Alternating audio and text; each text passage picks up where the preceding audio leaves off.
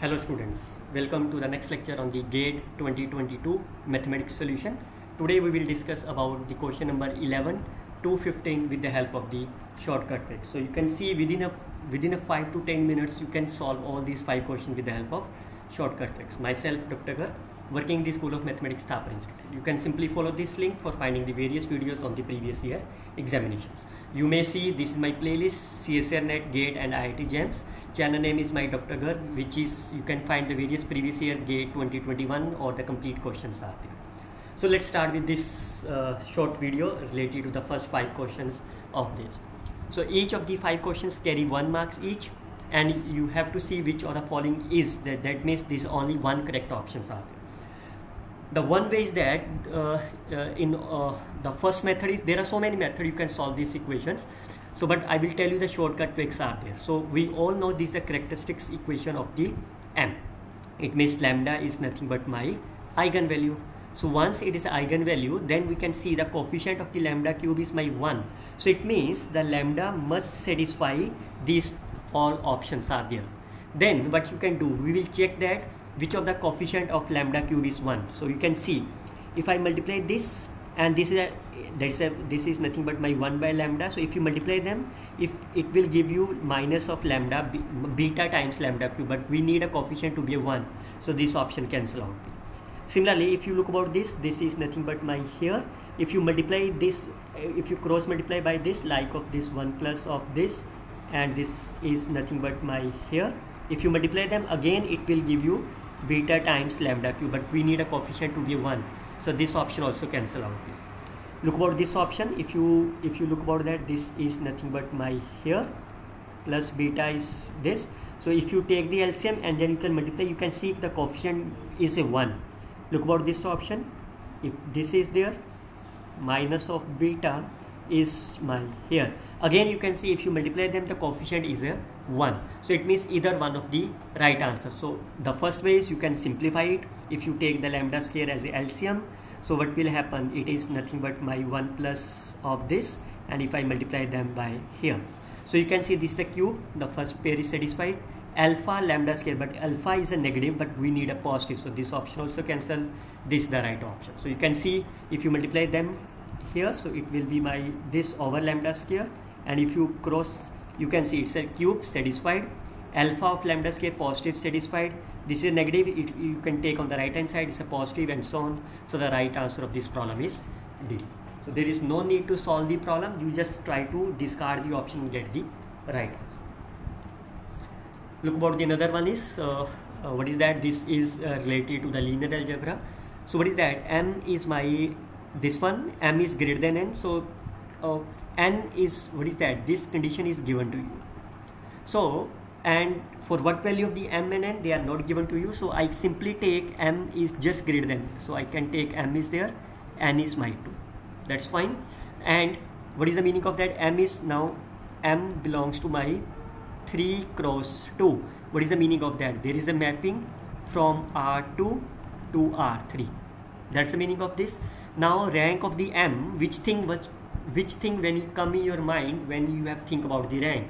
That's a rank nullity theorem. That means rank of t plus nullity of t it must be the dimension of this codomains so rank is given to you n and i consider as a 2 so what is the meaning of that? Nullity is my 0 so once the nullity is 0 means what is the meaning of that? There is no elements belong to the kernel. So look about that. Mx is my 0 what is the meaning of that determinant of n is my non-zero. Or you can say if it is my 3 cross 2 m is the matrix of the 3 cross 2 so that is my there are the 3 rows and 2 and the rank is my 2 and it consists of x1 and x2 so what is the meaning of that? It will give you a unique solution. So that has the only solution means that's a unique solution. It means this is a right look about the another one is so what is the meaning of the e cube 0 that means this is my nilpotent matrix. And once it's a nilpotent matrix what is the eigenvalues of this? They are 0 all the eigenvalues are my 0 so e has the eigenvalue 0 so what are the eigens value of the i plus e square? What is the eigenvalue of the i? That's a 1 eigenvalue of this is my 0 so the eigenvalues of these are my 1 1 1 and so on. So once they are here what is the determinant of i plus e square. That is a non-zero. It means this is a non-singular matrix. But here it's a singular matrix. So this is my false statement. So p is correct. P is true. Q is false. That's true.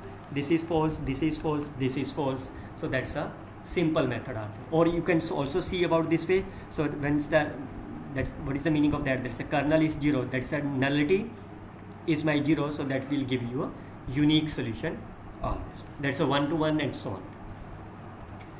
Okay look about this. So what is given to you? You have a function u is given to you and u is a harmonic conjugates of v such that v of 0 comma 0 is my 2 and your target is to find this. So that's a very simple. I will tell you the shortcut trick is. So there are very various methods are there but i will tell you the shortcut tricks. Whenever u is given to you and v is unknown then you can find the value of the fz by using this uh, simple shortcut methods are there. Integration partial derivative of u with respect to y at the point 0 plus constant are there. That's a there is a simple rule about that. Or you can say this is nothing but f of 0 comma 0 so now what is that? Firstly i can find the value of f 0 comma 0 what is that? This is the u 0 comma 0 plus iota v comma 0 so what is the u comma 0 so when y is 0 cos 0 1 sine 0 is 0 and sine 0 is 0 so it's a 0 plus of 2 so that is nothing but my 2 iota. So this value is my 2 iota. Now how you find the value of this at the point z comma 0 that's a y is 0 and x is z. So if you take the partial derivative with respect to y so this is a product rule. So one time it will be the sine of 2y second time is a sine hyperbolic of so clearly says when sine of 2y is a 0 sine hyperbolic 0 is 0 so this part becomes a 0 again on this so what is that? The first part will be the cos of 2y and here is cos of hyperbolic 3y of sine 2y and here is sine hyperbolic 3y so again when y is 0 this part becomes a 0 and sine 0 is 0 again this part is 0 so this complete part portion is my 0 because now you are the competitions you can quickly do that so what is a u comma 0 so now I can find the value of the u comma 0 so what will happen at y is 0 so cos 0 is my 1 that is over. Sine 0 is my 0 so the answer is cos hyperbolic is my 1 so the answer is only uh, e raised to power 2z sine of 3z this value is my 0 plus of 2i so now I can solve this for you. e raised to power 2z of sine 3z plus of 2 iota now I need the value at i pi iota pi. So this is 2 iota pi. So sine 3 iota pi plus of 2 pi. So sine e raised to power 2 iota pi is my 1 how I can write that? I can write this is e raised to power iota x minus e raised to power minus iota x divided by 2 iota plus of 2 now that's over. You can solve it. What will happen? This is my e raised to power minus of 3 pi minus this is minus minus plus iota square is plus 1 e raised to power 3 pi divided by 2 plus of. Now you can compare your answers. You have to multiply this by 2 iota. So what will happen? This will be cancelled out. So and this will be my minus 4 minus 4 and plus 4 will be cancelled out. So the right answer is my here. Minus e raised to power plus 3 pi. So this is cancelled out. This is e raised to power 3 pi should be positive. This is cancelled out. This is the right answer. This is the correct way to solve the problem. Okay look about this one. So what is given to you? This is here. Now what is that? C is a circle radius is my 2 center at origin. So that means this is my here 2 comma 0 so that's a very simple I can write this value in the form of this. I can multiply this of here. 101 plus 1 of dz. So do you remember what is that? What is that? This is nothing but integration of f dash upon f. So which theorem is there? So what is the f dash upon f? So this integration will define as 2 pi iota number of the poles number of the zeros minus number of the poles. What is the n is? Number of the zeros and number of the poles of fz. So what is the my fz in this case that is my 1 raised to power 1 plus 1 so since there is no pole so therefore p is my 0 what is that? So in this circle there is no pole so that's a p0 how many zeros are there in this circle?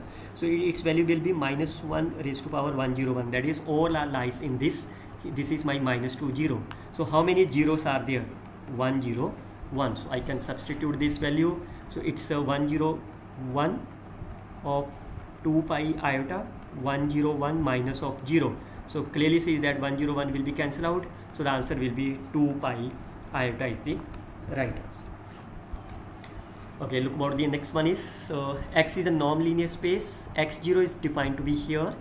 X0 contains the distinct point of the line segment.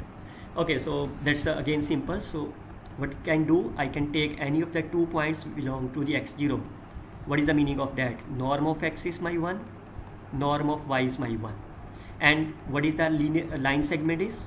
This is the line segment. This is the line segment of this. And x0 contain the line segment. What is the meaning of that? Lambda x plus 1 minus of y it must be 1 fine. Now here is there is no particular value of lambda so I can simply take lambda is my half. So what will happen? This is nothing but norm x norm y upon 2 is 1 that means x plus y is my 2 so now we can take the options. So if this is my 2 this is my 1 this is my 1 because of this and this. So that is 2 only one option is correct. This is my 2 this is my 1 this is my 1 this is also 2 this is 2 square that's a 4 this is 1 this is plus 1 so this option is cancelled out. This is my 2 this is 2 times 1 and 1 this option. So either a B and D are there but only one correct option is there. Now look about the linear dependence. So look at that. Both the options are correct so if if X and Y are LD what is the meaning of that this and this both options are correct but there is only one correct option so it means X and Y can never be linear independent so the right answer is my here however you can easily check that whether they are linear independent or not so since it is a normed linear space so we all knows that R2 is a normed linear space. So I can consider the two vectors simply. X is my 0 comma 1, Y say my 1 comma 0. Clearly says that norm of X is my 1, norm of Y is also 1. And you can see they are my Li, not for the LD. So it means the right answer is my only for the A is the correct answer. So this is the way you can solve all these five questions in a very simple shortcut fix i hope we can simply enjoy it. We will see in the next lecture on the 16 to 20 in our next class. Till then, you can simply follow this playlist CSIR-NET, UGC-NET for the channel name Dr. Harish for finding the various previous year papers related to the CSIR-NET and the JAM. You can like, share and comment this video with your friends. Best of luck students. Happy learning.